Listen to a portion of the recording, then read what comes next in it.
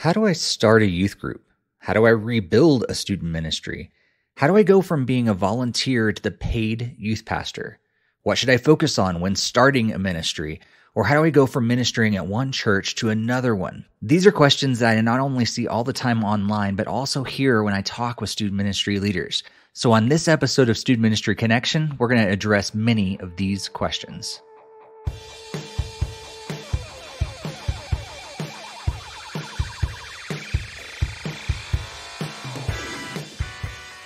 Welcome to Student Ministry Connection, a podcast for those who serve in student ministry, want to connect, and desire to grow. My name is Steve Cullum, and I've served in student ministry for over 20 years. And back in 2007, I moved to New England to serve as a very first youth pastor at a new church. And while I had gotten my education and served in various capacities like a volunteer, intern, resident, part time, and full time, I had never started a student ministry from scratch. I was very excited, of course, but I was also very overwhelmed at the thought of this.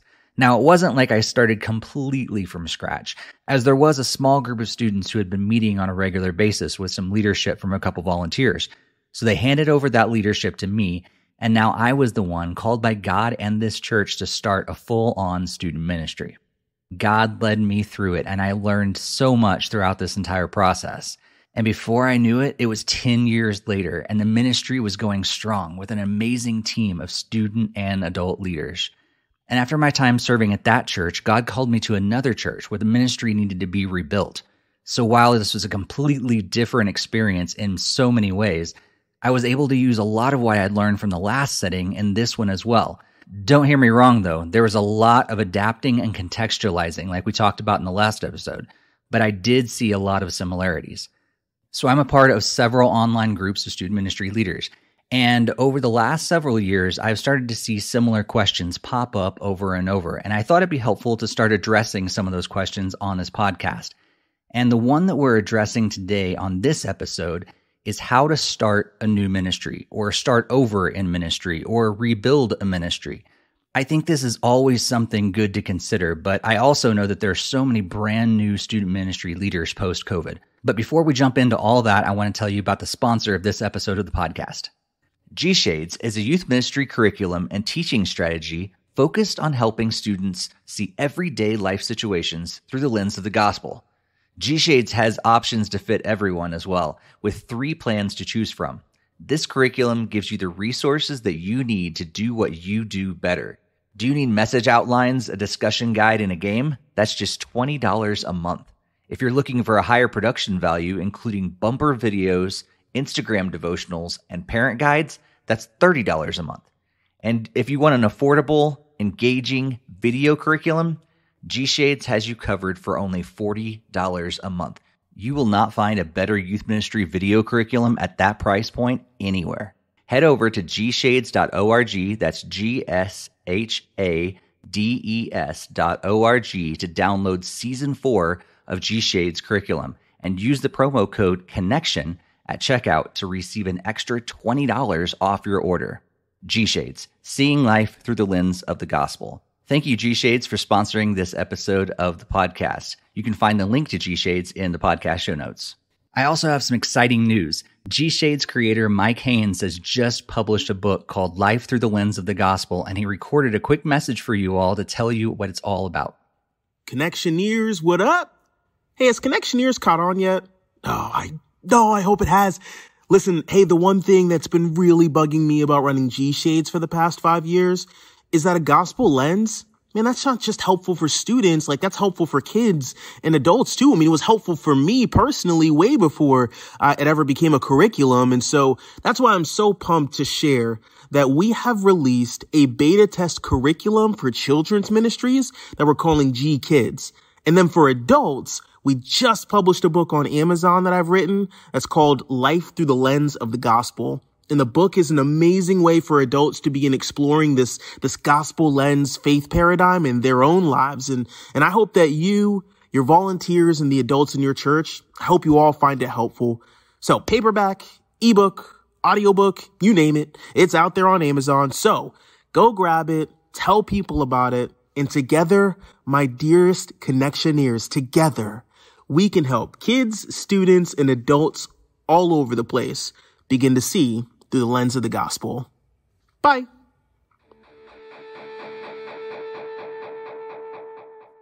Back in 2015, I wrote a blog post about this question of restarting a ministry or starting from scratch a ministry. And the tips that I passed on back then about how to start a new youth group or restart one are some of the same tips that I want to share with you here in 2023.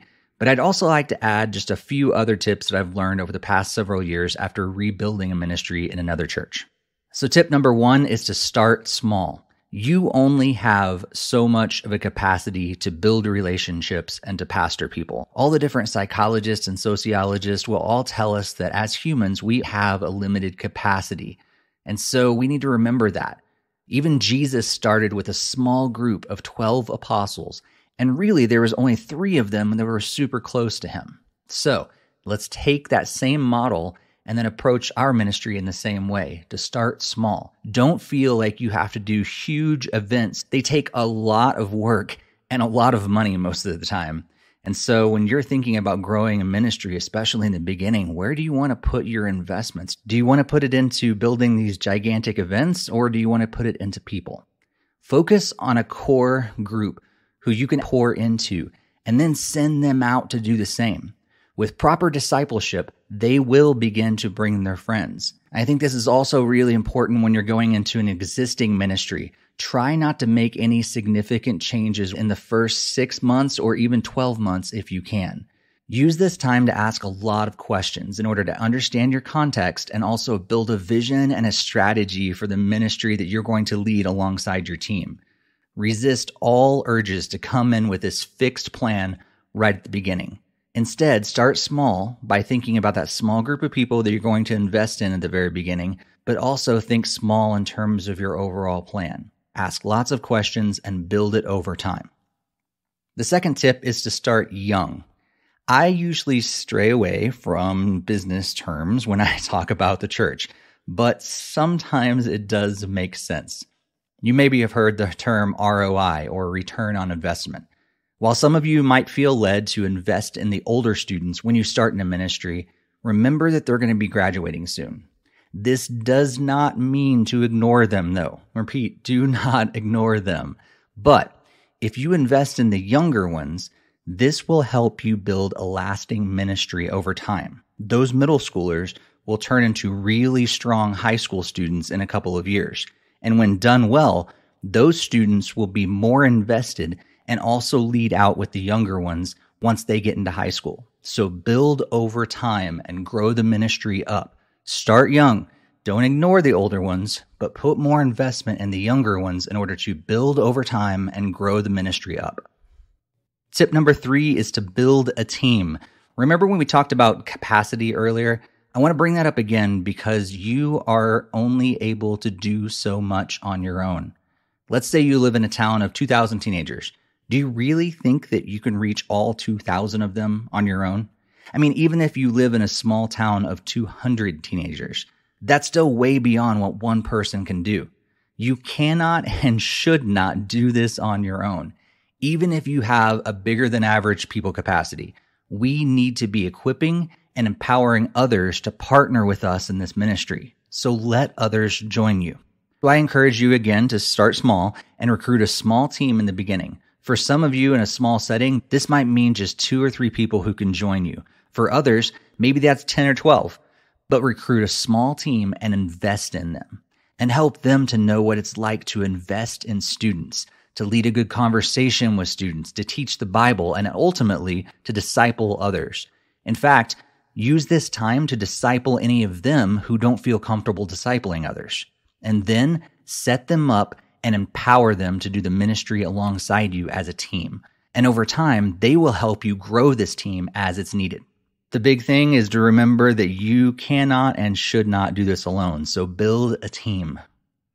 Tip number four is to connect with parents. Early in my first internship, I read this book called Family Based Youth Ministry by Mark DeVries, which completely changed my perspective on student ministry. I got into ministry because I liked hanging out with and investing in the next generation. And I suspect that's why you did as well. But over time, I've read a lot more books and blogs, and I've heard a lot of podcasts and conference speakers. and read in the Bible that parents are the primary spiritual leaders of their homes. So we need to connect with parents and invest in them. What does this mean? I think first it means regular communication. And this includes emails and texts, but also meeting in the parking lot before and after youth group or before and after church, talking with them at student events, and so many other things about youth group events, about upcoming teaching series, how they can partner with us, all those different things. We need to be communicating with parents on a regular basis. They should never feel like they're left out and in the dark. Also, we need to be asking them questions to learn what they need and how we can be praying for them. Do your best not to stiff arm parents and leave them on the outside, but invest in them by asking them those questions. And also lean on them.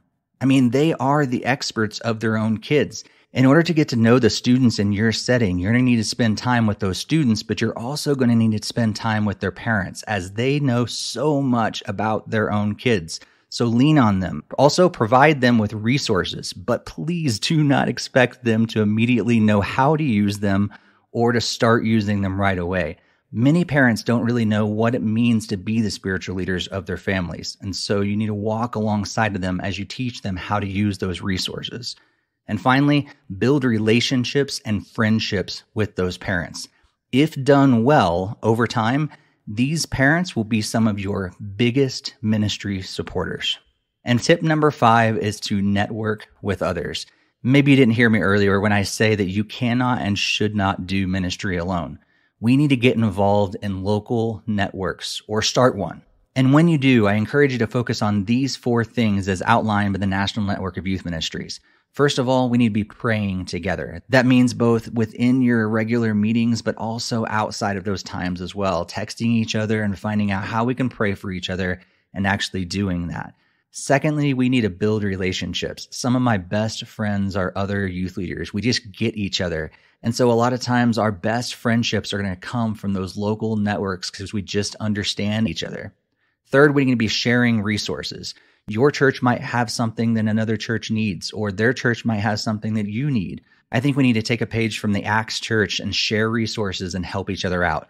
And finally, we need to be strategizing together. It's so important not only to share what works and what doesn't work at your church, but also come up with strategies in order to reach more and more teenagers in your community. So strategize together with those local networks. We also need to get to know other youth focused organizations in your community. Now, this can be faith based organizations like Young Life and FCA, but we also need to get to know our schools and the rec league sports teams and so many other youth focused organizations in our community. And we need to be partnering with them as much as we can. And if you haven't done so yet, connect with others in online groups. I know that not all the online groups are the best all the time, but there are some great conversations that you can have with youth leaders all around the world. And if you want to learn more about what networking is all about, I encourage you to check out episodes 48, 100, and episode 107 as well, where we talk a lot about networking and connecting with others in ministry. So those are my five tips to starting a student ministry, or five areas to focus on when you're restarting a student ministry, or five priorities when rebuilding a student ministry, or five goals when starting in a new church, or five, well, you get my point. And we would love to hear where you are in your ministry, especially if you're trying to build a brand new student ministry, restart one, or rebuild one. Please reach out and connect with us on social media. I'm at Steve Cullum on Twitter, Instagram, and Facebook. And the podcast is at Stu Min Connect on Twitter and at Student Ministry Connection on Instagram. And if you know someone who is starting a new youth group or going to be starting one or restarting one or rebuilding one, please consider sharing this with them. And if you'd like to partner with me as a financial partner for my ministry with National Network of Youth Ministries, please follow the link in the podcast show notes. You can also find a link to sign up for my ministry newsletter and how to contact me in the show notes. Also, if any of you are taking high school students to CIY Move at the University of Central Missouri from July 17th to 21st of 2023, I'll be there serving as campus pastor, and I would love to meet up with you in person, pray with you, and also buy you a coffee. So make sure to connect with me. And before we wrap up, I also want to remind you about our podcast sponsor, G Shades. Be sure to visit gshades.org and use that promo code connection to save $20 off your order. And also don't forget to check out Mike's book, Life Through the Lens of the Gospel, now available on G Shades website and on Amazon. Thanks again for being here for this episode and for all of your support. Be sure to stay connected and may God bless your ministry.